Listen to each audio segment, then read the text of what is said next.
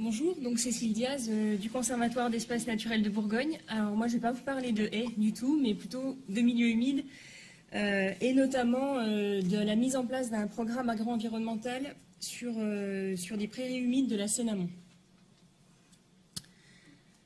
Donc concrètement, je vais vous présenter rapidement bah, qui est le conservatoire, le PAE et puis le lien avec la trame verte et bleue comme, puisque c'est la thématique du jour.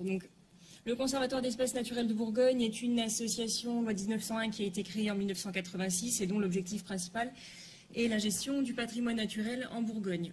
Globalement, et pour faire rapide, euh, on travaille, on va à l'échelle de trois axes principaux, à savoir euh, la gestion de sites conservatoires, qui passe à la fois par euh, la maîtrise foncière, par les suivis techniques, les études, les travaux. Donc on a 173 sites sur 5200 hectares. On a un deuxième axe qui est euh, l'appui aux politiques publiques, donc par la mise en place par exemple d'animations de sites Natura 2000, euh, rédaction de documents d'objectifs. Euh, on prend part aussi à des plans régionaux d'action et puis la politique milieu humide comme ce que je suis en train de faire là. Et enfin, toute une partie sensibilisation et éducation à l'environnement. Donc là, je vais vous présenter concrètement le, projet et ce qui a été mis en place. Donc tout d'abord, le territoire d'études. Donc là, vous avez ben, la Bourgogne et plus précisément euh, le nord de la Côte d'Or, qu'on appelle le Châtillonnais ou le plateau de Langres. Ça dépend euh, si on est euh, en Champagne-Ardenne ou en Bourgogne, on va dire. Et donc le, périmètre que vous avez en, rouge au-dessus, voilà, c'est donc le territoire du contrat global Sequana qui est porté par le syndicat mixte Sequana avec qui on a travaillé. Et donc, sur ce territoire-là, nous, de 2008 à 2011, on a réalisé l'inventaire des milieux humides sur le territoire. C'est la carte que vous avez. Oups. C'est la carte que vous avez ici. Donc, une fois que l'inventaire était réalisé, le but, c'est pas juste d'avoir la connaissance, mais de se dire qu'est-ce qu'on met en place euh, comme, autre, euh, comme action. Et l'inventaire, il a été fait à la fois pour essayer de localiser euh, les milieux humides à l'échelle du territoire, mais aussi pour savoir quels étaient les enjeux et les atteintes.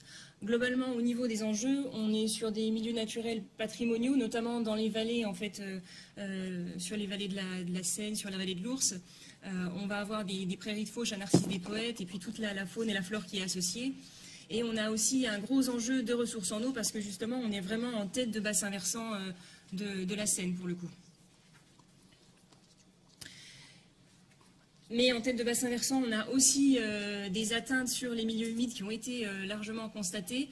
Euh, on a de la fertilisation qui tend à, modifier en fait les, cortèges, les cortèges d'habitat en place. Hein. Nos prairies de fauche, par exemple, à Narcisse des Poètes, ont, bien, enfin, diminué en fait euh, et on, retrouve plutôt des prairies de pâture euh, un peu plus, enfin, avec un cortège d'espèces euh, moins patrimoniales. on a eu une augmentation du chargement du bétail sur les prairies pâturées, des fauches plus précoces et puis à certains endroits on va avoir quand même de la disparition de l'élevage, donc disparition des prairies, donc retournement et mise en culture. Globalement, le constat sur le territoire, c'était de se dire, en faisant en fait les inventaires, que c'est un milieu Bon, on n'a pas une énorme urbanisation, il faut le dire quand même. On a un territoire qui est euh, fortement agricole. Et donc, pour préserver les milieux humides, eh bien, il y a un, nécessaire soutien à faire euh, à l'agriculture euh, en place, en fait. Et donc, l'outil qui, a été, qui a été déployé, ce sont les mesures agri-environnementales.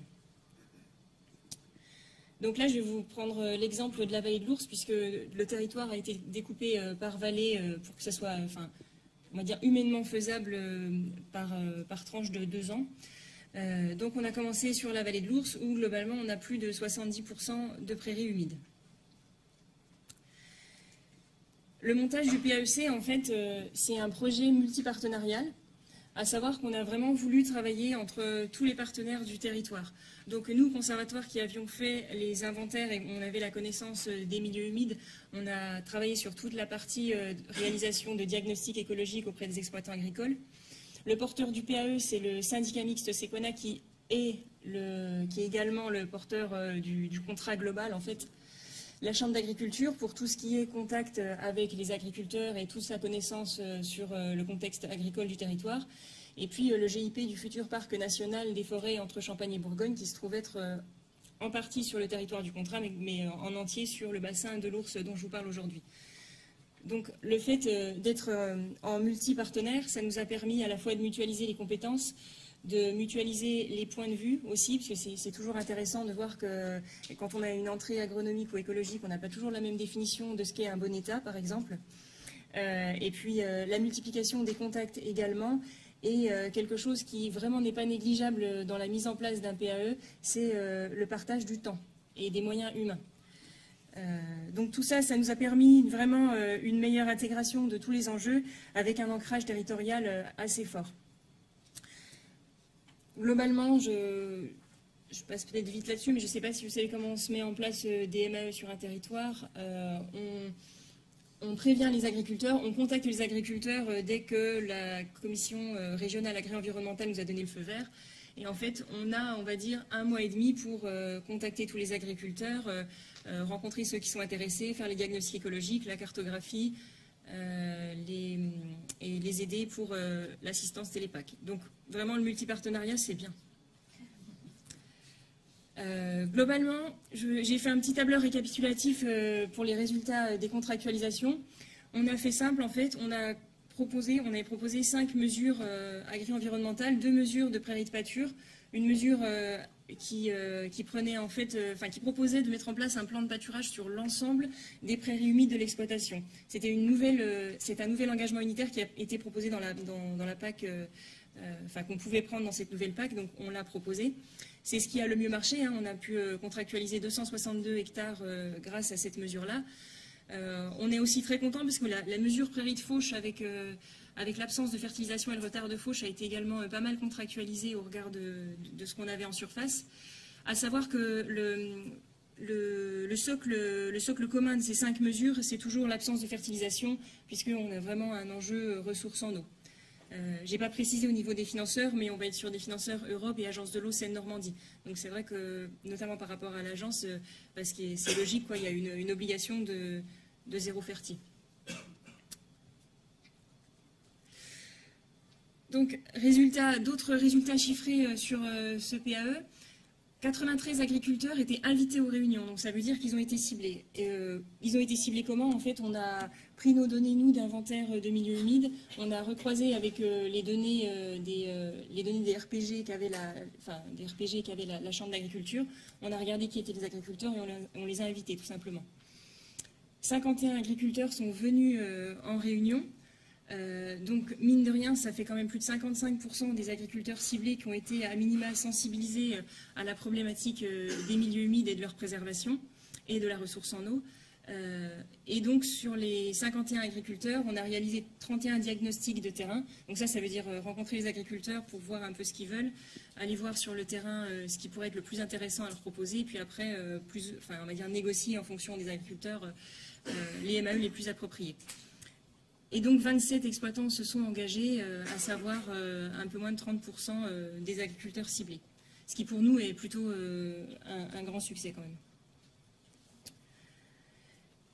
Je vais faire le lien euh, avec euh, la trame verte et bleue, puisque c'est ce qui est euh, demandé aujourd'hui, pour replacer finalement dans le contexte.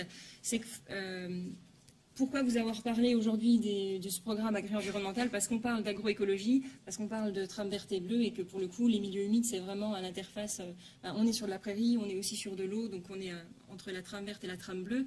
Et, et pour le coup, avoir mis en place euh, euh, ces mesures-là à l'échelle des vallées, en fait, ça, ça, vraiment, ça vraiment rentrait dans, euh, dans, les objectifs de la trame verte et bleue. Et notamment, on peut citer à minima ces objectifs-là de, de, la trame bleue de la Bourgogne, notamment développer les réseaux d'acteurs en favorisant les échanges pluridisciplinaires. Donc ça, c'est le, fameux, travail multipartenarial.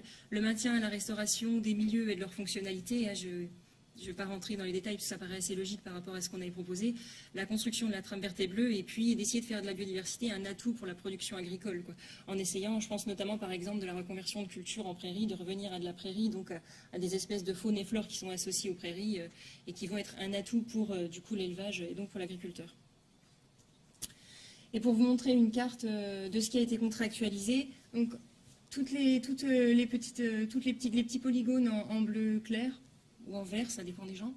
Euh, ce sont les MAE euh, qui ont été contractualisés. Et ce qui est assez euh, impressionnant, en fait, c'est qu'il y a certaines, enfin, certaines vallées ont été en fait entièrement contractualisées. Quoi.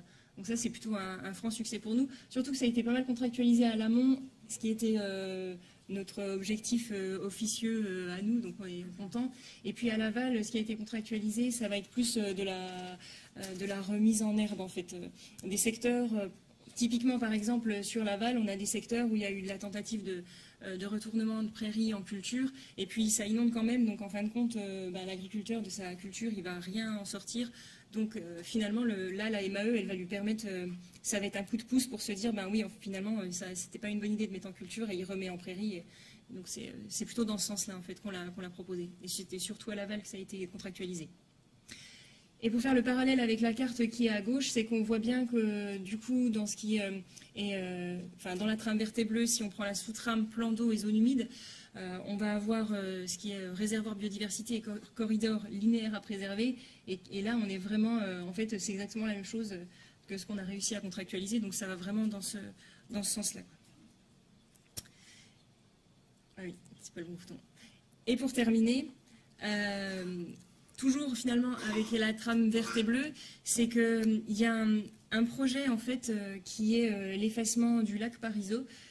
Le lac Parisot, c'est ce petit étang-là qui est en, continuité sur le cours d'eau en fait de l'ours, qui a vraiment été montré comme étant un gros point noir au niveau de la continuité, enfin au niveau aussi de la ressource en eau, il, est, vraiment pas terrible. donc là, ils sont en train de, le syndicat mixte est en train de travailler pour, que les habitants en fait de Recé-sur-Ours acceptent cet effacement. Donc là, c'est un, travail qui, se fait depuis quelques années. Euh, et, finalement, le fait d'avoir réussi à faire contractualiser tout ce qui est en bleu, c'est ce qui a été contractualisé.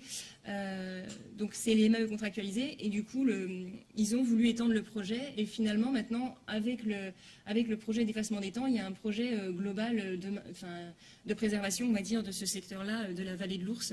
et, il me semble aussi plus ou moins en, enfin, en projet d'ENS sur, euh, sur cet endroit-là. Donc ça a permis vraiment de, euh, bah, d'inclure ce projet-là dans d'autres projets euh, existants.